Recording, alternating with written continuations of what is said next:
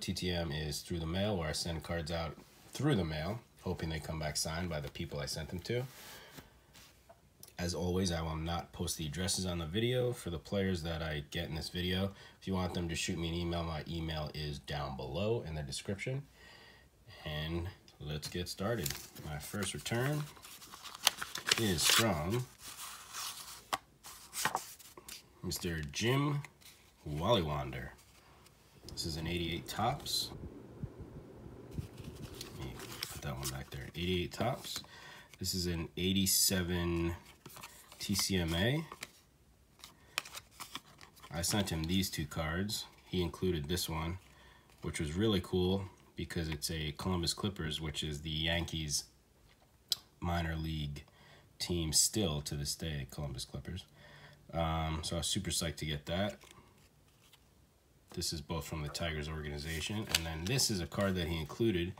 It uh, it's not. This isn't the actual sketch card, but he does draw this.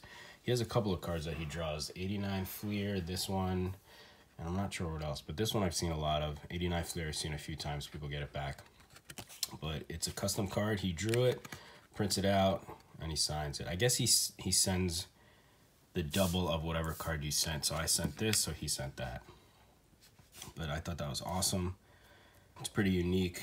It's a really good drawing. Looks like him. So a little bit about Jim Walewander.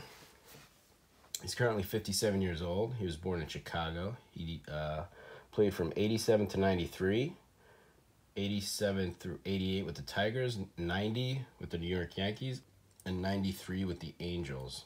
He batted 215, had one home run, and 14 RBIs in the majors. His uh, rise through the minors with the Tigers organization was delayed because of two players that were already on the Tigers, Mr. Alan Trammell and Lou Whitaker. But in 1987, May of 1987, he did get the call up.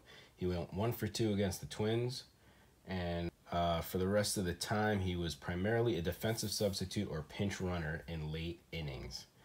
He was a key figure, though, and the Tigers battled the Blue Jays for the division crown. And in the 12th inning of the season's penultimate game against Toronto, he was a pinch hitter. He scooted home with a game winning run after Detroit shortstop Alan Trammell drilled a game winning single through Toronto shortstop Manuel Lee's legs. Frank Tanana pitched a 1 0 shutout the next day, handing the Detroit Tigers the division title. Walewander was not on the playoff roster, and Minnesota defeated those Tigers in the ALCS. He played one more year with the Tigers before he was released. He played with the Yankees and then in Italy before his last game in an Angels uniform in 93. And that's all I got about Jim Wally Walewander. Didn't have much of a, you know, crazy career. He had a little cup of coffee, as they say. But I was super happy to get that back. He's a great TTMer. If anyone wants to get him, hit me up. My next return is, this was a really long return. I'll put down right over here how long exactly it was.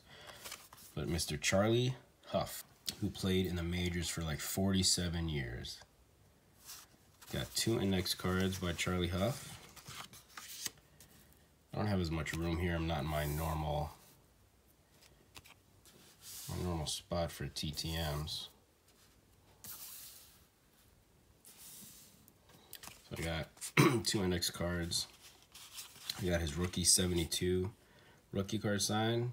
Signed it right there, Charlie Hough. I don't know about Bob O'Brien and Mike Strader. I'll, I think Strader passed away. I think he's also on Bobby Valentine's rookie card in 71, which is a little weird, but all right. Pretty sure. So I have that TTMs also. 82 Donruss with the Rangers. Here he's with Dodgers. Uh, this is 86 Diamond Kings, Donruss Diamond Kings with the uh, Rangers also. And then this is uh, 93 first season Marlins 93 Upper Deck. Put that one there. Sorry for the glare, I can't do anything about that. Charlie Hough is currently 72 years old. He was actually born in Hawaii, Honolulu, Hawaii. He debuted in 1970 for the Dodgers, and his last MLB appearance was in 1994 for the Marlins. So 24 years. He played from the Dodgers from 70 to 80, the Rangers from 80 to 90, the White Sox from 91 to 92, and then the Marlins 93 and 94. He was an All Star in 86, and he's in the Texas Rangers Hall of Fame. He had a win loss record of 216 and 216. He was even at 500. A 3.75 ERA and 2,362 strikeouts. He always looked like he was old to me. Every he looks pretty young here, but everywhere else he looks old. Yeah, I think he even though he doesn't have gray hair hair here, I think he did pitch with gray hair. It says uh, during a 25 season career, so he pitched for 25 seasons. His 216 wins rank 82nd all time on the all time win list, tied with Wilbur Cooper and most likely future Hall of Famer Curt Schilling. Probably could have gotten in this year, but they didn't want to put him in with Jeter, probably. I'm sure getting anyone controversial in would have only uh, been a little bit of a distraction to Jeter's Hall of Fame ceremony. He was the last active player to have been born in the 1940s. He retired at age 46 after the 94 season. He started the Marlins' first regular season game in team history on April 5th, pitching six innings for the win as the Marlins defeated the Dodgers 6 to 3.